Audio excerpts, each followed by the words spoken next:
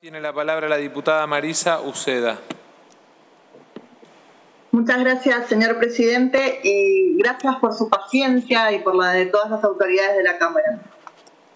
Mire, como mendocina yo no tengo más que agradecerles a los diputados y a las diputadas que hoy están sesionando y aprobando esta ley que vino del Senado.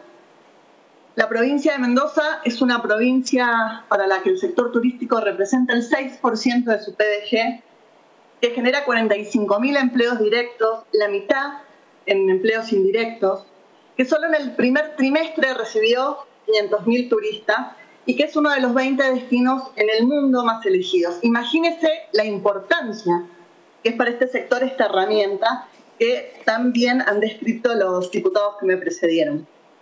Es tan importante esta herramienta porque desde la provincia de Mendoza, el gobierno de la provincia de Mendoza no le ha dado nada a este sector. Y esto lo sé porque nos hemos reunido tanto mi compañero, el diputado Alejandro Bermejo, como la senadora Anabel Fernández Agasti, hasta con el diputado Ramón.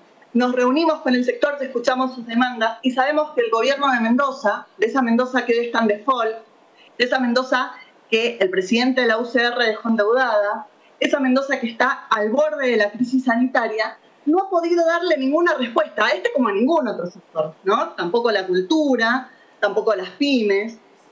Esta Mendoza, que era tan ordenada, pero que está al borde del abismo, no ha sabido darle respuestas y la única respuesta que ha llegado para el sector turístico, como para cualquier otro sector productivo, es por parte del gobierno nacional. Así que yo les quiero agradecer de verdad, porque para nosotros es fundamental que el turismo tenga una pronta reactivación y la creatividad que tiene esta ley con el estímulo de la demanda es fundamental. Esto va a ser una, una práctica que vamos a tener que tener en cada una de las actividades. Estimular el consumo, estimular la demanda. Así que yo celebro este, esta ley. Mire, yo sé que hay hombres que son mucho más bajos que su propio ego, pero no es tiempo de mezquindades.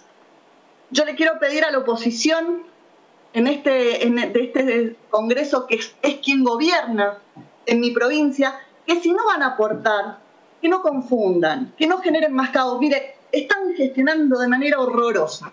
Entonces les voy a pedir que por favor tengan la responsabilidad de dejarnos levantar a la Argentina y de ordenar el caos que dejaron con el primer turista con el que gobernaron, que fue el expresidente Macri. Sean responsables, porque para eso los votó la minoría sean responsables y déjennos gobernar, porque vamos a gobernar para todos, pero necesitamos que sean responsables. Muchas gracias, señor presidente, de verdad, le agradezco su paciencia, le espero que todos aprendamos. Gracias y buenas noches. Gracias, además de paciencia.